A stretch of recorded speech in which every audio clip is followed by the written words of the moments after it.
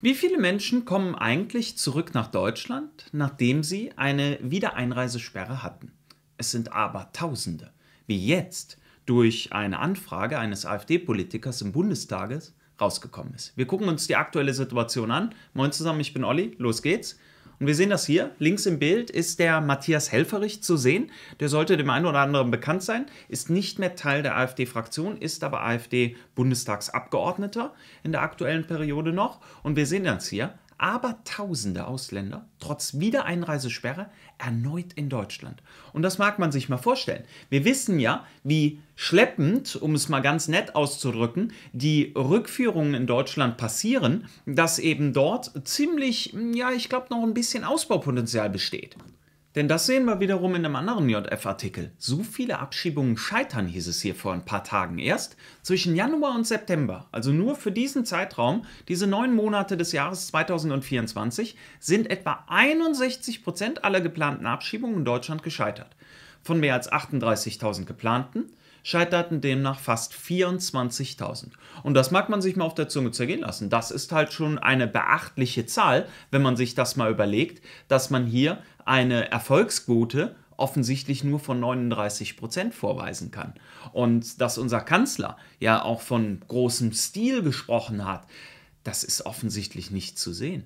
Das ist definitiv nicht zu sehen, wenn man davon ausgeht, dass die Zahl von 38.000 ja auch nur eine sehr, sehr geringe ist im Verhältnis dazu, wie viele Menschen nicht mehr aufenthaltsberechtigt in Deutschland eben sind. Zurückzukommen zu der Situation, die der Helferich jetzt hier angefragt hat. Nochmal, der eine oder andere wird ihn kennen. Ich hatte ja ein Video über ihn auch gemacht. Ja, er stand wirklich so verkleidet als Talahon oder Honk, sagen manche, im Bundestag und hat eine Rede gehalten.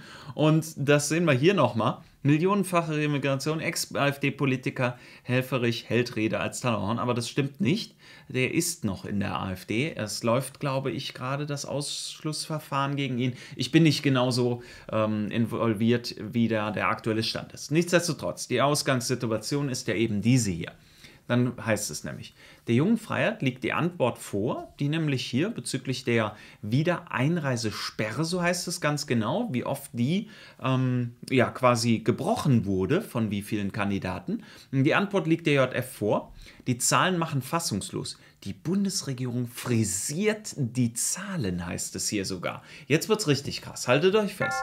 Wer aus Deutschland abgeschoben wird, in diesem Jahr bisher 14.718 Menschen, wird mit einer Wiedereinreisesperre belegt. Ist ja auch logisch, weil kann ja nicht sein, dass wenn du dir hier dein Aufenthaltsrecht nicht ähm, gewilligt bekommen hast oder dich nicht benommen hast, 1000 Euro Handgeld und zurück, dass du dann wiederum eine Sperre bekommst und die hintergehst. Stellt euch das mal vor. Das ist ja Wahnsinn. Sie soll verhindern, dass die Person ohne Erlaubnis erneut nach Deutschland einreist. In der Praxis erweist sich das allerdings als wenig effektiv, denn in den ersten neun Monaten erfassten die Behörden mindestens 4600, ich runde jetzt mal, die trotz Sperre wieder in Deutschland auftauchten. 4600 von 14.718. Leute, das sind Zahlen, das sind Quoten. Also sehen wir doch einfach, dass die Strategie, die die Ampel an den Tag gelegt hat über die letzte Zeit, vollständig nicht funktioniert. Sie ist komplett hinfällig, um es so zu sagen. Dies gab die Bundesregierung auf eine Anfrage des AfD-Abgeordneten Matthias Helferich bekannt, heißt es. Dabei wirkt das Wort mindestens gleich doppelt. Und das darf man nicht überlesen. Einerseits handelt es sich lediglich um bekannte Wiedereinreisen. Das ist ein ganz, ganz wichtiger Punkt. Denn wie hoch ist die Dunkelziffer? Die kommen doch also teilweise gibt es das ja, dass man es auch mittlerweile weiß. Die haben mehrere Identitäten, sprich verschiedene Namen, Geburtsdaten und ähnliches und gehen dann auch wieder zum Amt und holen sich die Vollversorgung. Das ist halt eine Unverschämtheit, wenn man sich das einfach mal gegenüber der steuerzahlenden denn, ach, sorry, Bevölkerung vergleicht. Eine Dunkelziffer gab die Bundesregierung in ihrer Antwort an Helferich nicht an. Das ist schon interessant, weil das könnte man ja bestimmt auch statistisch erheben, muss man doch klipp und klar dazu sagen. Aber vielleicht möchte man es nicht.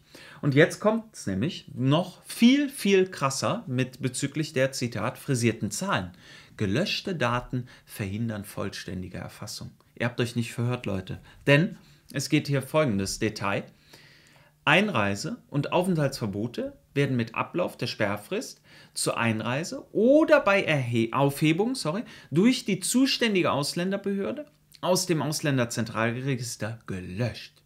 Personen, die im Laufe des Jahres zwar während einer Sperrfrist erneut eingereist sind, bei denen die Sperrfrist aber vor dem Auswertungsstichtag abgelaufen ist, können nicht mehr äh, rückwirkend ermittelt werden. Leute, da komme ich ins Bärbocken vor absolutem Wahnsinn hier. Wenn man sich das einfach mal überlegt, sieht man ja, dass das hier absolut inkompetent ist. Das ist doch nicht stringent. Hier wird doch nicht klar vorgegangen mit einer klaren Vorgehensweise, dass man eben solche Sachen unterbindet. Im Gegenteil. Die Daten sind also unvollständig, weil sie gelöscht werden.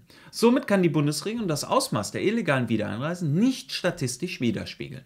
Von den 4614 Kandidaten, die trotz Sperre wieder einreisten, heißt es, im Übrigen ein Drittel aller Abgeschobenen, ne, bei den 14.718 waren es, kommt jeder Zehnte aus Afghanistan. Die Zahlen gucken wir uns auch mal ganz genau an. Wir sehen das ja hier. 443 Afghanistan, Moldau 431, Syrien 385, Serbien 304, Nordmazedonien 277, Algerien 266, Türkei, Georgien, Albanien und Bosnien-Herzegowina. Und das ist ja auch schon interessant, wenn man sich die verschiedenen Länder durchliest sind das Länder, in denen allen ausschließlich gerade Krieg herrscht und die Leute haben alle eine Berechtigung? Nein, offensichtlich nicht. Denn ansonsten würden sie ja noch nicht wieder zurückgeschickt. 14.718 an der Zahl. Hey Leute, so wie hier aktuell vorgegangen wird, kann es nicht weitergehen. Das sieht man ja offensichtlich, dass dieses System vollständig inkompetent ist, von unserer Regierung inkompetent umgesetzt und dass dann auch noch Zahlen gelöscht werden. Wir als Bürger und also, wenn man seine Steuererklärung macht und auch Unternehmer, der ich bin, musste ich meine Unterlagen hier zehn Jahre aufbewahren. Das Gesetz soll ja jetzt hier ähm, ein bisschen gelockert werden, soll auf acht Jahre gesenkt werden. Bravo! Was ist hier mit der Situation? Der Helferich sagte hierzu, Zitat, jede Law-and-Order-Rhetorik der Etablierten wird zur Farce kommentiert er mit Blick auf die beinahe 5000 abgeschobenen Fremden, die trotz Einreisesperre wieder eingereist sind. Er verwies auf die polizeiliche Erkenntnisse im Umgang mit Clankriminellen aus seinem Bundesland. Er kommt nämlich wie ich aus NRW hat den Wahlkreis in Nord-Dortmund, müsste es sein. Wenn ich es richtig im Kopf habe, ist auf jeden Fall Dortmund. Und gerade Dortmund ist ein gefährliches Pflaster geworden, definitiv. Das ist schon nicht mehr schön. Und NRW generell ist ja schwierig hier. Also gerade was wir für Kriminalität hier mittlerweile haben. Ich habe gerade noch die Nachricht darüber gelesen, dass wir vor ein, zwei Tagen wieder einmal eine Explosion in Köln hatten. Und das am helllichten Tag. Das hatten wir jetzt in den letzten Wochen häufiger. Explosion vor Einfamilienhaus in Köln. Seit Monaten kommt es zu Explosionen in Köln und Umgebung. Ja, Umgebung ist jetzt relativ nett gesagt, denn wir haben das eigentlich im NRW weit mittlerweile. In der Nacht gab es erneut einen solchen Vorfall, diesmal im Stadtteil Meschenich. Dabei wurde eine 53-Jährige leicht verletzt. Gute Besserung natürlich an diese Stelle an die Dame. Bewertet ihr das mal gerne in den Kommentaren, was ihr davon haltet. Danke fürs Zuschauen, Abo nicht vergessen, bis zum nächsten und ciao.